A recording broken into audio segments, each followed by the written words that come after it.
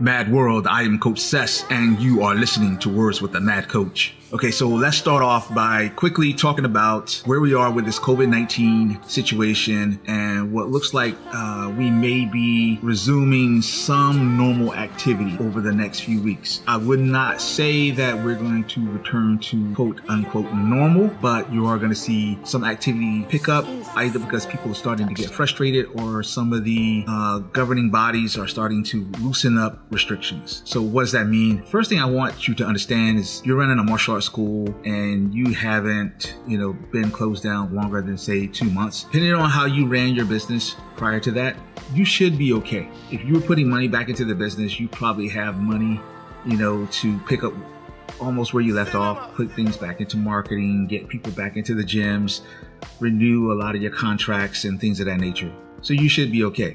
What is going to be the unknown is the health aspect. So if your business, your martial art business dealt more with contact with people, uh, there's a, there's an on and off element to every martial art.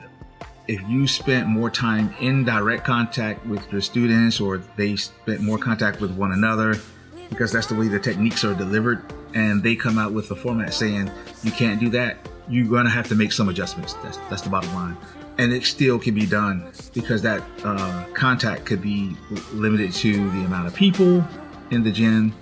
At one time could be uh, limited in terms of protective equipment. It could be limited in terms of the amount of time you spend doing it. That's normal. That's okay. In fact i would say that's something you as the gym owner you as the martial responsible martial arts person you should have already been thinking about anyway.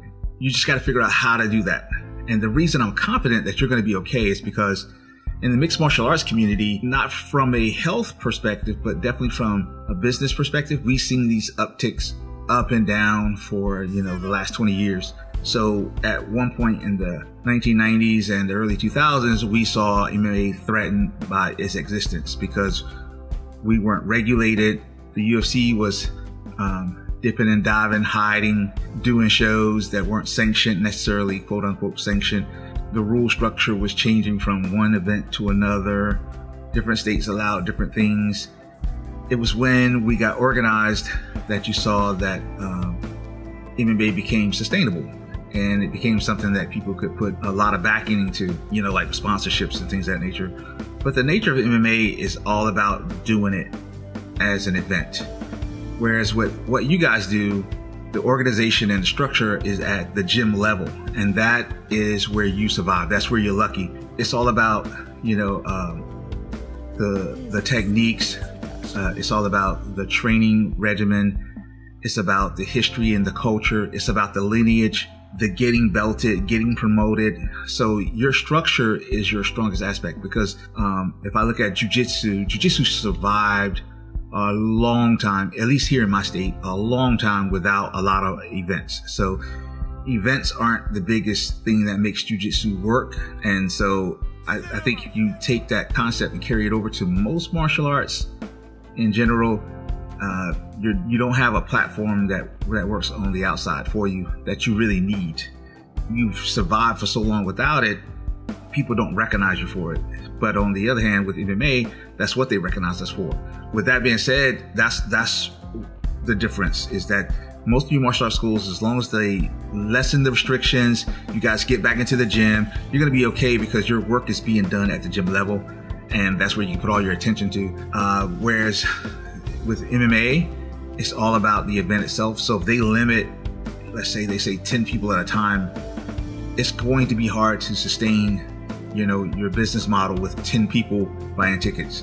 The overhead cost that it's going to cost you to just put on an event, you know, where guys are fighting empty arenas and we don't have the backing locally, uh, you know, to do what uh, uh, UFC does to have fights in an empty arena because they still have the major corporations, the TV sponsorships, and the things of that nature. They can put on an event on TV with no crowd and still be okay. All you martial arts schools, boxing, kickboxing, jujitsu, um, you're going to be fine. Self defense stuff, you're going to be fine. Competition people, whew, well, we're going to have to think about it. Um, if your model, your martial art totally depends on competition aspect, we're going to have to figure something out for ourselves.